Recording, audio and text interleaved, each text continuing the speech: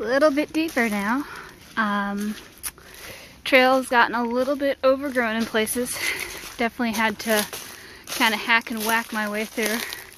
See, there's a lot more debris in here. There's a lot more debris on the ground on the trail. I just bumped into two day hikers and they kind of warned me about the uh, overgrown state of the trail. But again, it's a fairly pleasant trip through the forest today. And, you know, an overgrown trail is nothing I haven't handled before. So, not too bad. Now we have some more trees. We got some, some nice pretty oaks here. I did have a little bit of trouble going through one section that was a little swampy.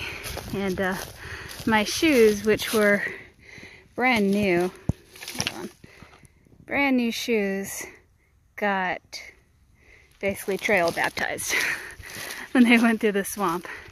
And I, I had one pair of socks that was not cardboard yet, and I think that just made them cardboard. But this part is really nice. This part's really pretty. Going through some pretty oaks, getting later in the day. Snake on the trail. I almost stepped on this poor thing. Aw, I'm sorry, buddy. Here he goes.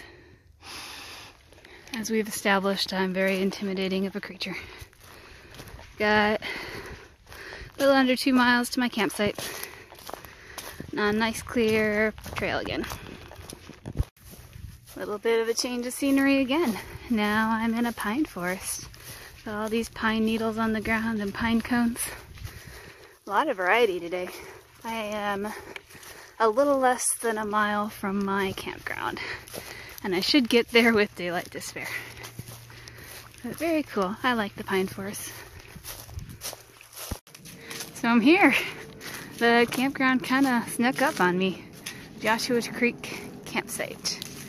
That should just be down here. I just filled up with water from Joshua Creek itself. And pretty short day today. It'll be a pretty short day tomorrow as well. But that might be a good thing because tomorrow I'm potentially getting some, some weather here. I'll have to check the, the forecast again because it changes pretty rapidly here in Florida.